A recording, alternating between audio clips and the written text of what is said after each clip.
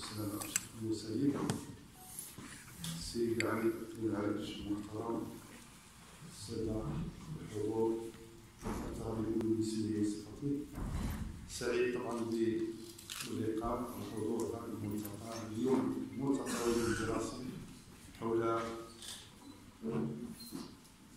التعليم وتطوير التعليم الأولي باعتباره رهانا مجتمعيا.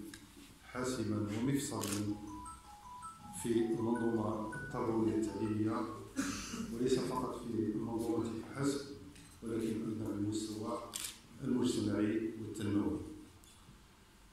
قبل طبعا معالجة هذا العرض وهذا العرض المتواضع أمامكم الذي سيستعرض حصيلة البرنامج الإقليمي وتطوير التعليم الأولي بمراحله بواقعه برهانته وبحصيلته المرحلية ليس إلا أن تقدم بجزيل الشكر للسيد الفاضل المحترم السيد عامل الإقليم على دعمه القوي لا مشروط لقطاع التربية والتكوين وكذلك من خلال للمبادرة الوطنية للتنمية البشرية التي عودنا دائما في مثل هذه المحطات أن تكون في الموعد مع مختلف المشاريع التنموية التي أطلقها صاحب الجلالة الملك محمد السادس نسأل الله يده كذلك أغتنم هذه الفرصة لإتوجه بجزيل الشكر لكل المتدخلين في قطاع التربية والتكوين وخاصة في التعليم الأولي من السلطات المحلية الإقليمية وكذلك لمختلف الفاعلين الشركاء ولكذلك رؤساء الجامعات الطلابية الذين لم يدخروا جهدا في القطاع وفي تنميته وفي الرقي به. طبعا المداخلة والعرض سيتناول بالخصوص هذا البرنامج ولكن في تلقائيته البرنامج الوطني الذي أعلن عنه البرنامج الوطني للتعليم وتطوير التعليم الأولي الذي أطلق من مدينة الصخيرات في 18 يوليو 2018 والذي كان لنا شرف الحضور في هذه الفعاليات التي انتظمت فيه. إذا البرنامج الإقليمي للتعليم وتطوير التعليم الأولي لا ينعزل طبعا على النهوض بالقطاع ديال التربية والتكوين في مختلف المجالات وكذلك بمختلف مكوناته وتلويناته.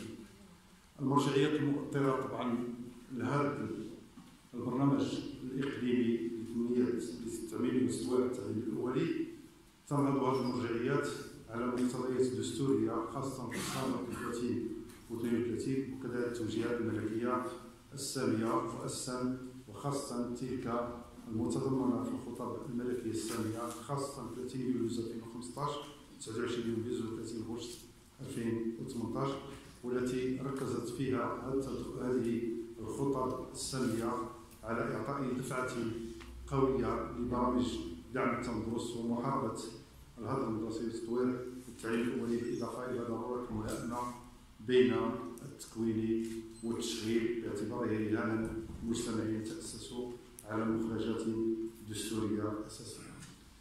هناك أيضا الرؤية الاستراتيجية 2015 2030 التي تضمنت 16 مشروع والتي قوامها إحداث وبناء مدرسة جديدة من أجل مواطن الغد قوامها أساسا مبدأ الانصاف وتكافؤ الفرص ولعل التعليم الأولي محور أساسا لهذا تنمية هذا الحس وخاصة غرس مبدأ تكافؤ الفرص لأن لا يعقل طبعا أن نبني مدرسة منصفة وتلاميذ ربما لا يتلقون نفس مراحل التعليم فما ذنب طبعا أطفال ولدوا في مناطق نائيه أو صعبة لا يستفيدوا من هذا المدخل الأساسي وهذا المكون للمنظومة الذي هو التعليم الاولي هو الانطلاقه الأساسية والحاسمة لأن فيها تحسن أم المعارك التربوية على مستوى تكوين الشخصية وبناء كذلك الافق المدرسي للطفل وللتلميذ لتمكينه طبعا من الفرص المتاحة للتكوين والتعليم. هناك كذلك القانون الاطار 51 17 وهو قانون حقق حقيقه في حقيقة ثورة ونقلة نوعية لأن أصبحنا لأول مرة في تاريخ المغرب. وتاريخ المنظومة نتوفر على قاعدة قانونية تضمن استدامة الإصلاح لأن ربما تناوبت حلقات من الإصلاح عبر في المنظومة منذ عهد الاستقلال ولكن كلما حدثت ربما حكومة الا وأعاد تغير في المنظومه على مستوى التوجهات والتوجيهات والمداخل حاليا منظومة دستورية قانونية تمكن من استدامه الإصلاح ومن بناء نموذج الانسان المرغوب فيه المتشبع بقيمه الوطنية والمنفتح على القيم الكونية. فالقانون الإطار اللي خاصة في الماده 8 من هذا القانون يدمج التعليم الأولي ضمن مراحل التعليم الأولي في أفق ثلاث سنوات. يعني من 2018 أن خرج الحيز الوجود. في النشرة في الجريدة الرسمية من الان ثلاث سنوات سيصبح التعليم الأولي جزء لا يتجزأ من المنظومه بشكل مهيكل ومؤسس بمعنى المراحل التي نعيشها حاليا وهذه الانطلاقه القويه لمشاريع ديال التعليم الأولي ستثمر بادماج هي مرحلة انتقالية ستمكننا طبعا من ادماجه في المسارات التكوينية المؤسسة. هناك مختص في ديال البرامج الحكومي خاص بقطاع التربية الوطنية 2017 2021 واتفاقيه الدوليه لحقوق الطفل 1989 باعتبار أن التعليم الأولي من المرتكزات الأساسية لحماية الطفولة المبكره والتي تولى لها عنايه خاصة سامية وحكومية وكذلك على مستوى اقليم العرائش هناك مختلف القطاعات المتدخلة تحت الرئاسة الفعلية للسن العامل هناك حرص شديد على بناء كذلك مخطط لحماية الطفولة وضمنه يندرج التعليم الاولي. أهمية التعليم الأولي لا تخفى على أحد فهناك هذه الأهمية تبدو واضحة للعيان على مستوى الطفل التربيه والمجتمع والاقتصاد والشغل. على مستوى الطفل نعلم علما يقين بأن الطفل يمر بمراحل نمو نمو نفسي نمو بيولوجي نمو كذلك تكويني. وهناك مهما اختلف فقهاء التربيه فقد اتفقوا جميعا على أربع مراحل كبيرة من المرحله الأولى من الولادة سنتين ثم من سنتين لخمس سنوات لسبع سنوات وسبع سنوات 11 سنة من 11 سنة أو 18 سنة. ولا يمكن المرور لمرحلة مواليه دون أن نبرر المرحلة الأولى وهي المرحلة ديال الطفولة المبكرة وخاصة من سنتين إلى سبع سنوات وهي التي يندرج فيها التعليم الأولي لأن التعليم الأولي كيمشي من tranche d'âge ديال من أربع سنوات لست سنوات. وهي ما يستطرق على تسميته وربما سيرد ذلك في عرض السيد المفتش باعتباره خبير في الجانب البيداغوجي أنه سيركز على الجوانب والخصوصيات ديال هذه المرحلة مرحلة حاسمة كتميز بمجموعة من الخصوصيات السيكولوجية والحركية والتكوينية.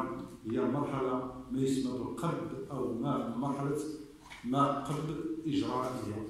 المرحله قبل العمليات وهي كتكون فيها شخصية الطفل علاقته كذلك بالمحيط ما يسمى بالمرحلة انه يعتبر نفسه العالم شيء واحد يكثر فيه الخيال. تنمو اللغة بسرعة فائقة مرحلة بناء اللغة. وهنا تحسب قضايا كثيرة على مستوى النمو فمرحله خطيرة جدا وذات اهميه ولا نوليها فهذه المرحلة كتبين مجموعة من الارتكاسات لدى الطفل واهميه اللعب كاداه بيداغوجيه هذا كله لا يمكن أن يستقيم ولا نبني شخصية للمتعلم دون مراعاة هذه الجوانب المفصليه في نمو الشخصية. فأحيانا يكون خياله كبيرا كيرسم لنا الرسومات إما سياره ولا شي أوبجي. وكيضحك وكنقول له لا. الطوموبيل مثلا ولا السياره ما كتضحكش خليه يبني الخيال ديالو لأن جزء من بناء شخصيته. هذا لن أتطفل كثيرا على العرض الذي سيري للسيد المفتش المنصف فالطفل في هذه المرحلة ينمي شخصيته وقدراته المعرفية. يطور المهارات الحركية ديالو بشكل كبير. تطوير الذكاء العاطفي. فهي ديال de transition phase ما بين الأسرة والمدرسة.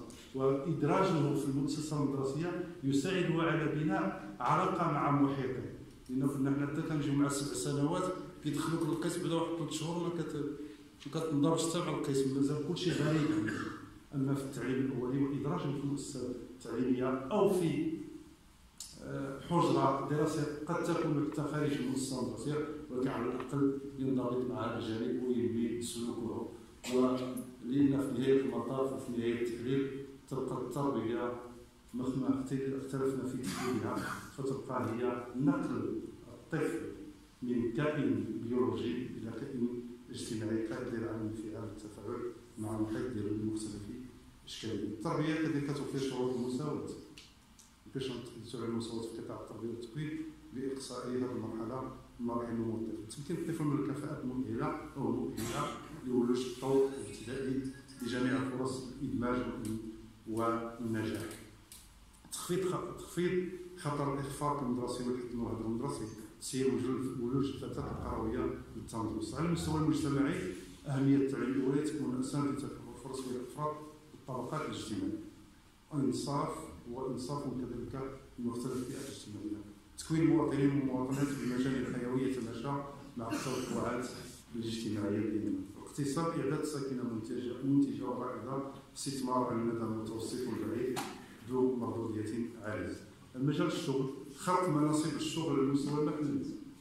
لأن غادي يفتحوا واحد المجموعة تفتح الآن كما سيرد بعد قليل في العرض ولكن كذلك كنفتح افق أن تصبح المدرسة مدرسة منتجة في تقريب كذلك الشغل من المواطن على المستوى آه،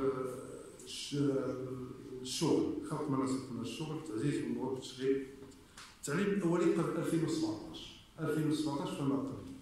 كان التعليم الأولي يلتزم بما يلي ضعف التمويل الذي لا يسمح بتامين التعليم الاولي التعليم الأولي.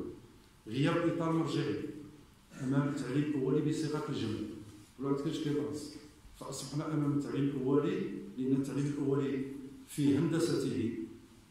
أننا أصبحنا أمام التعليم الأولي غير غير مؤسساتي.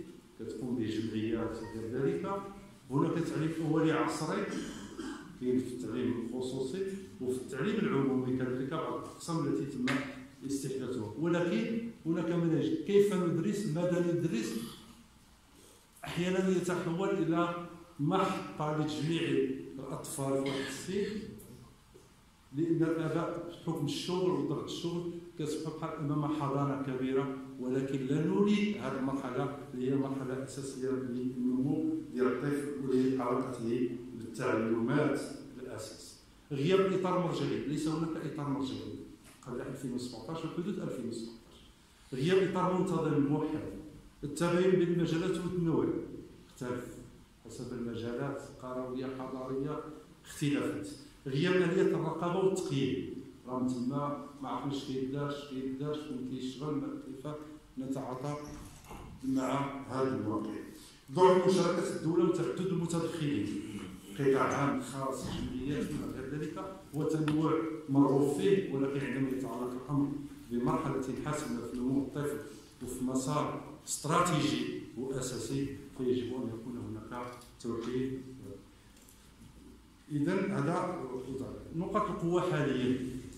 مع 2018 الرؤيه الاستراتيجيه طبعا 2015 2030 مشاريعها كلها ركزت في في أكثر من موطن ومدخل على التعليم الاولي والمؤسساتي برنامج عمل الوزاره متعدد السنوات من خصنا نشتغلوا برنامج متعدد السنوات وضع اطار كذلك مرجعي وطني من جوانب القوه دائما ممارسه بيداغوجيه جيده يجب ترصيدها وترسيخها وتطويرها والعمل على الارتقاء بها. تجارب رائدة وناجحه الفرص المتاحة.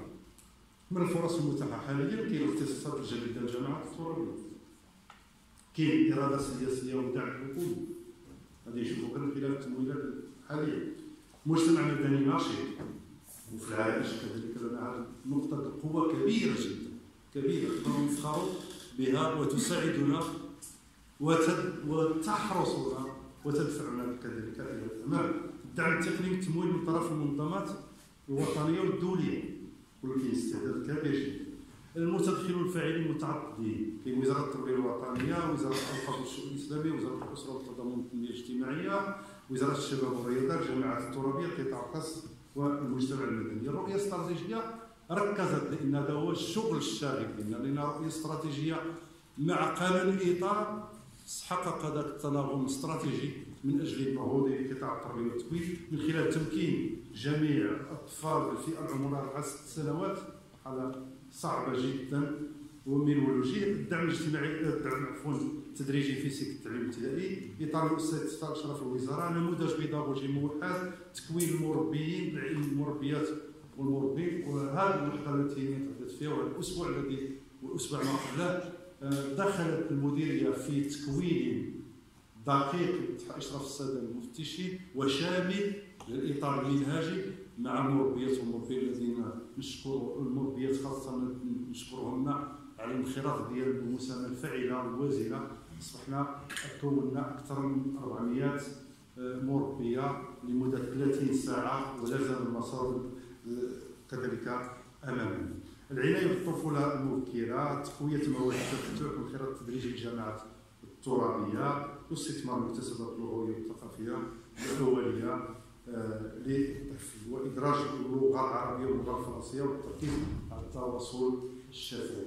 هذا الأهداف الاستراتيجيه الأهداف استراتيجية لنا في الإقليم وللوزاره هي أهداف للوزاره ويجب الانضباط بها وهي كذلك أساس التقييم والتقويم. ديال الأداءات ديالنا وكذلك المساءله والمحاسبة ديال هذا القطاع في هذا المجال تعميم التعليم الاولي في فوق 2027 2028 2027 كما نقول وشعارنا دائما هو مستقبلنا ينتظر لا يجب في هذه المرحلة أن نترك أو ندع طفلا خلفنا نهائيا التعليم.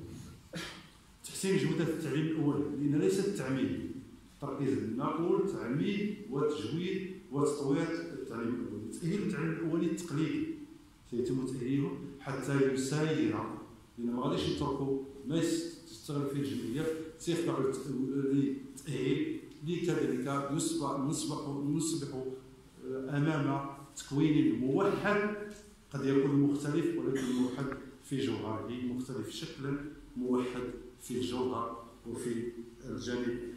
الكريكولوم ديالو في المنهاج الدراسي الخاص به التكوين الأساسي والمستمر لفائدة المربيت والمربين التمييز الايجابي لفائدة الوسطين القروي شبه القروي. بشكل واضح. إدماج التعليم الأولي في السلك الابتدائي. هذه هي الخلاصة اللي غلط راه هذه مرحلة ديال التمرين. نمر به هذا بالنسبة للبرنامج لمدة 10 سنوات بمعدل طبعا مرتفع. هذا بالمديرية. ولكن يمتع من البرنامج الوطني لتعميم وتطوير التعليم الاولي كاين مرحلة الانطلاقه مرحلة الترسيخ ومرحلة التوحيد والتعليم.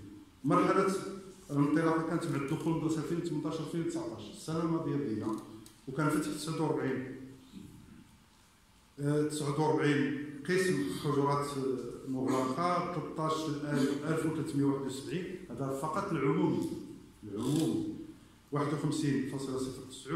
دخول المدرسة 21 22 67% غادي نوصلوا إن شاء الله.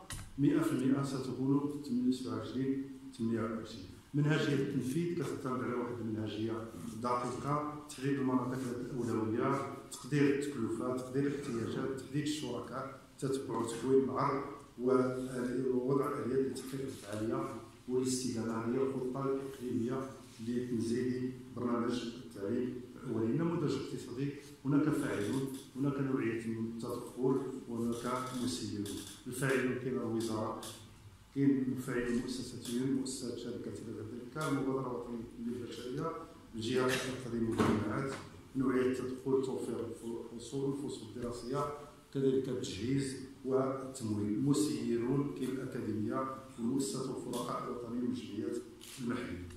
الإطار المنهجي اللي تحدثنا عليه وسيعود إليه العرض. المقبل هو كاين بالي ويتأسس على مداخل أساسية منها اعتماد وظيفة الانفتاح الشخصية والإعداد للتعلم والاكتساب تنميه الكفايات النفسية والاجتماعية تطور الذات والتأقلم مع الحياة. وغرس بذور الانتماء عند الطفل وكلها مداخل تمكننا من تكوين طفل في مستوى الرهانات المستقبلي معايير الجوده تبرز من خلال الفضاءات الاثاث المدرسي الأدوات والدعامات الحكمة الطرق والمقاربات البيداغوجيه هكذا يمكننا نوصلوا لواحد إطار منهجي متكامل منسجم يحقق تكوين آه، آه، فعال للطفل وإعداده للمراحل التعليمية ليجتازها بنجاح محاولة تحتوي الهدف المدرسي بشكل كبير. الموارد البشرية على المستوى الوزاري كاين إجازة مهنية كتوجد باش كنخرجوا يخرجوا الناس يخرجوا لنا مساعد في التعليم مربي التعليم الأولي ومرشد في التعليم هذا كيبان الأفق بان إدماج ديال التعليم الأولي في مراحل التعليم الابتدائي. تقني التقني متخصص في هذا المجال كاين مركز التكوين مكتب عفوا التكوين المهني وانعاش الشغل وفعاليات أخرى وفعالين وفاعلين عفوا آخرين معتمدين. شعبتي مربي هنا غادي تشكل واحد جوج شعبتين مربي متخصص في مجال التعليم ومساعد مربي كاين برنامج مربي كذلك متخصص في مجال التعليم الاولي التكوين المستمر ستتكفل به المراكز الجهويه التربية والتكوين والمؤسسات الأخرى وخاصة كذلك المديرين. طبعا برنامج التعميم وتطوير التعليم الاولي لا يمكن أن ينجح دون مساهمة القوى الحية للمجتمع في مجالات التأهيل البناء التجهيز التكوين التبديل المباشر وغير المباشر. دائما العملية يجب أن تكون مصحوبة ومحروسه واحد التعليق من أجل النجاح على مستوى الشراكات والتعاقدات. هناك اتفاقيات في إطار المستوى الوطني تم إبرامها كاين اتفاقيات خاصة على المستوى الجهوي واتفاقيات كذلك أخرى.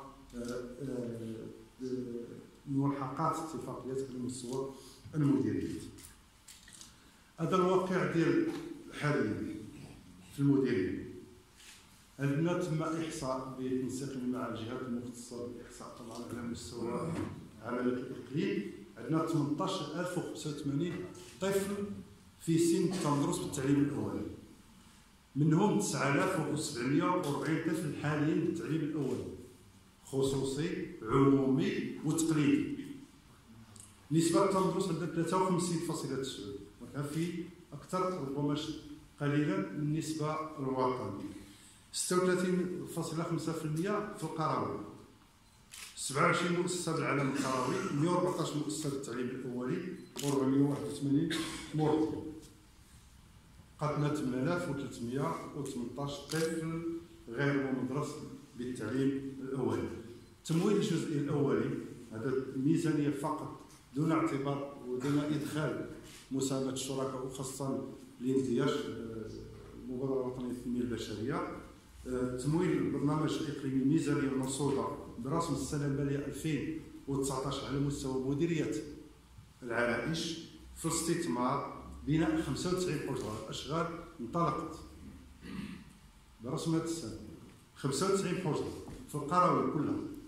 انسجاما مع المبدأ ديال التمييز الإيجابي للوسط القروي والشبه حضري. تأهيل 22 حجره تجهيز 117 حجره تجهيز كذلك 22 حجره آه، أخرى. اضافيه تمت إضافتها في الميزانية.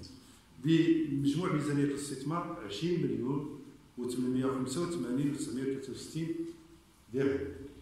الاستغلال المجموع ميزان الاستغلال 3 مليون 315 ألف درهم. المجموع العام للتمويل 24 مليون 200 ألف و 963 هذه تطور أعداد المؤسسات والحجرات غادي في الاتجاه ديال التعميم 2027 2028 ولكن حدود 2024 2025 قد نكون ربما قريبين من النسبة ديال 100 في التطور على الأعداد المدرسين كذلك واحد التطور كبير وهذا الاسقاطات ديالها ولكن مجهزة بمخطط إقليمي قابل للتنفيذ والتتبع والاجراء والتطوير كذلك إذا اقتدر المؤسسات التعليمية والابتدائية اللي مستهدفة بالخصوص عندنا 378 وحدة 62 مؤسسة مستقلة 76 مجموعة مدرسيه الفرعيات 234 الملحقات جوج والمدارس الجامعاتية وحدة ان شاء الله وستعزز بشبكة أخرى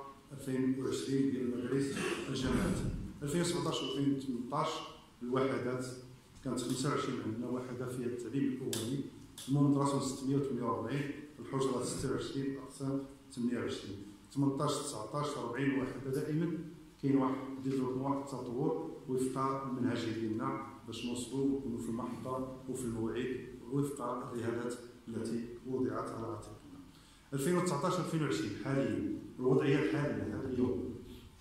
عندنا 51 وحدة 1525 في العمومي 43 حجره أقسام 49 نهاية الموسم. لأن الاشغال غتنتهي قريبا لأن ثلاث أشهر كاع من ابعد التقدير نكونوا دخلنا الاقسام ديال 95 اللي وضحنا قبل قليل. الواحدة 150 4727 الحجرات 161 أقسام 158 من فيها بناء 95 و 22 وبناء 3 إطار الانتاج التعليم الأولي العمومي هو 2021 5255 المنظرات 6275 حجرات 284 أقسام 293 وبناء 100 حجره وتاهيل 24 هذه 100 خدينا في programme physique ديال 2020 اللي نوقشت الميزانية خلال الأسبوع الماضي. وأضفنا 100 حجره جديدة بالوسط القروي تنضاف إلى ال 95 اللي هي en cours في هذه السنة ديال 2019 2021 2022 لواحد 363 26 7000 متمدرس عمومي دائما الاقسام 379 80 حجره كذلك وتأهيل 6 حجرات شكرا على حسن انتباهكم